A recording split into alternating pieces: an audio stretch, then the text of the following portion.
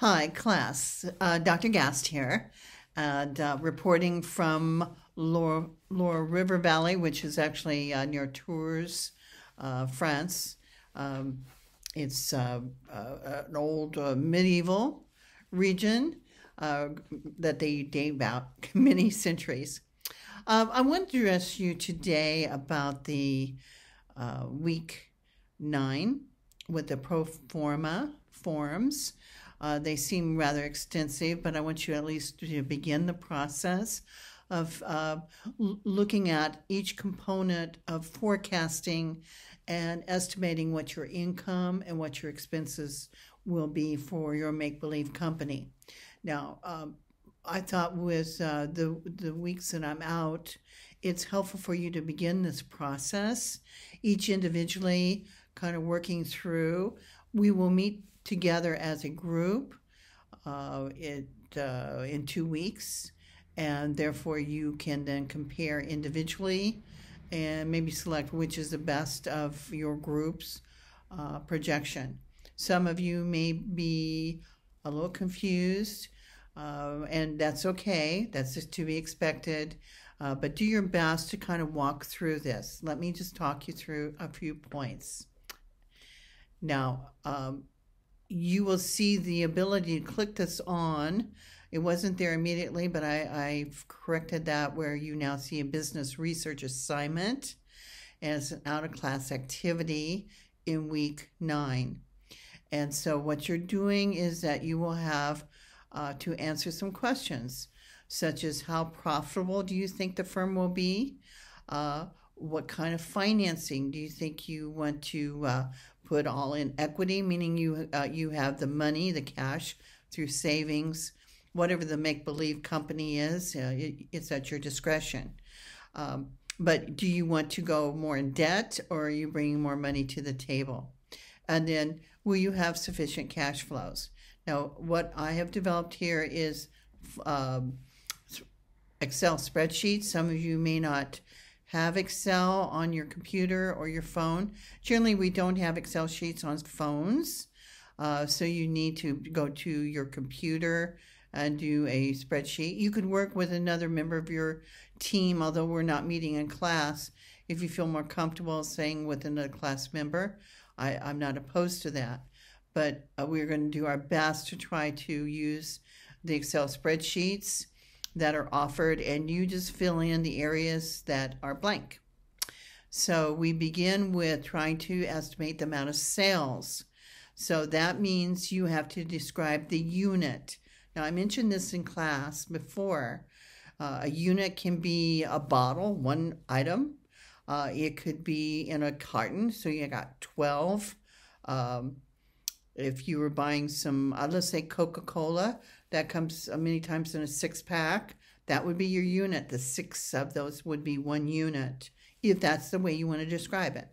Uh, some people could do it in a box, a carton that has 24 items in that. That would be one unit, one box. Uh, you could describe it as being uh, a, a pallet where you have multiple boxes and you're selling a pallet of it. So most times in just starting out, our unit is very small because we're doing small amounts.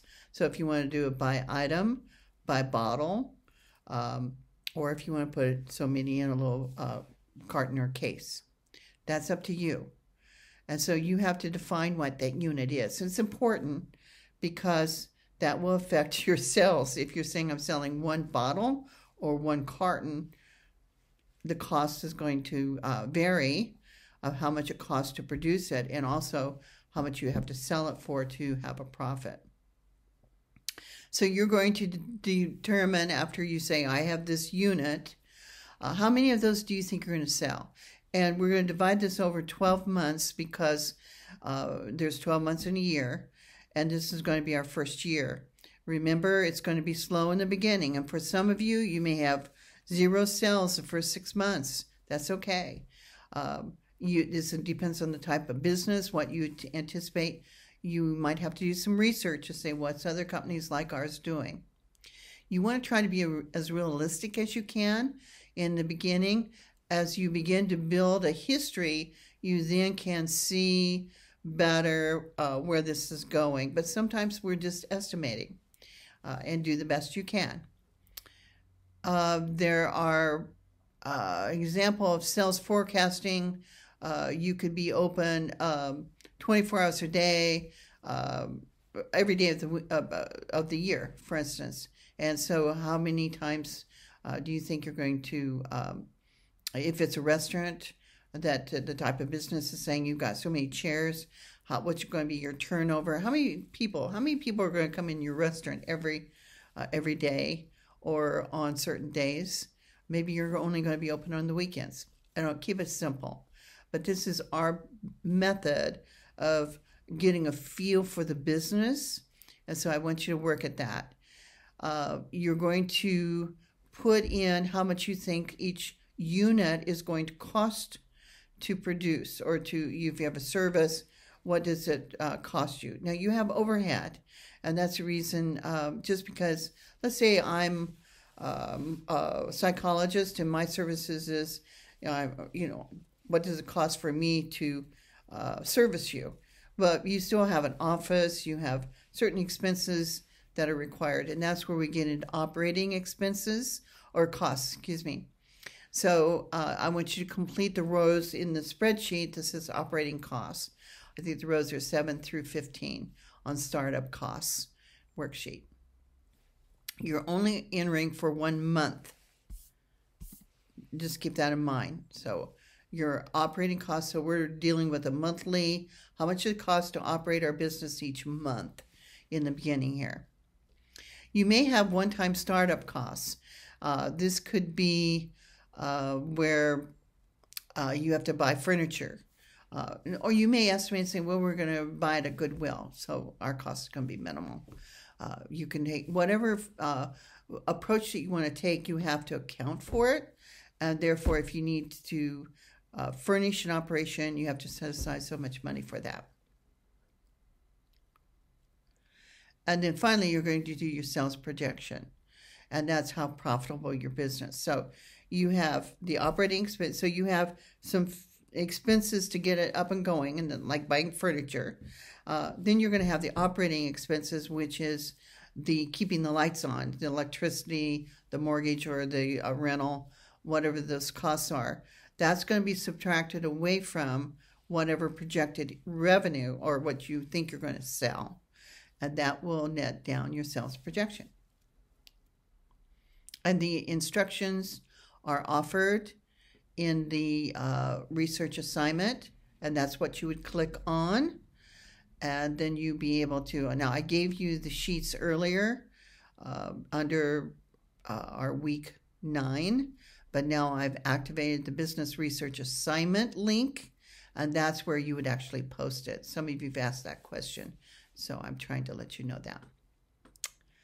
Right, I think that pretty well covers this aspect of it. Uh, again, do not be overly concerned saying, oh, I don't know if I can get this done. Uh, I want you to do the best you can.